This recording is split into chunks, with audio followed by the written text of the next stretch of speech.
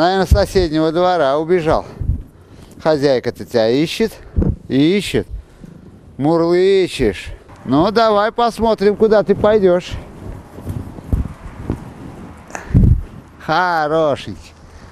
Ну, молодец. Побежал домой. Ну вот, беги, а то хозяйка будет тебя искать. И этого дворника Герасиму не боятся ни кошки, ни собаки всего Самарского района. Бездомного накормит, а потеряшку вернет хозяину.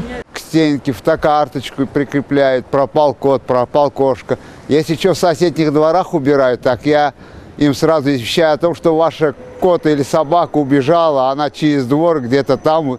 За 22 года, что Герасим Аваков трудится на поприще чистоты и порядка, познакомился со всеми жителями улиц Куйбышева и Фрунзе.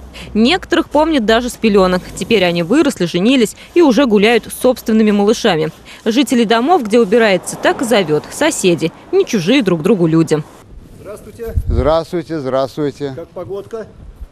Весна наступает, тает все, хорошо. Герасим знает четыре языка, помимо родного армянского, азербайджанский, русский и английский. Но эти способности ему мало пригодились. После погрома в Баку в начале 90-х ему пришлось бежать в Самару. С тех пор город стал для него родным, а работа дворником – любимой. Подъем в 5 утра и 8 часов на свежем воздухе в любую погоду. В этом, говорит Герасим, его личный рецепт крепкого здоровья и секрет вечной молодости. А ведь и правда, не скажешь, что этому бодрому мужчине уже далеко за 60. Я каждое утро занимаюсь э, физкультурой, разминкой.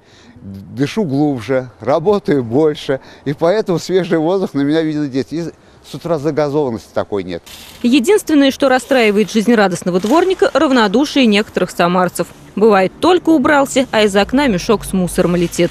Чистота и порядок – это задача дворников. Это их работа – убирать улицы. Однако обязанность каждого уважающего себя гражданина – это дворнику помочь. И для этого вовсе не обязательно сразу браться за лопату или метлу. Главное – не разбрасывать мусор, где попало. Важно донести его до урны.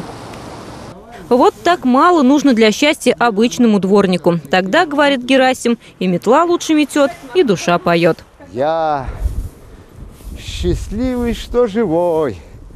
Я счастливый, что живой. Я Марина Матвеевна, Дмитрий Мешканцов. События.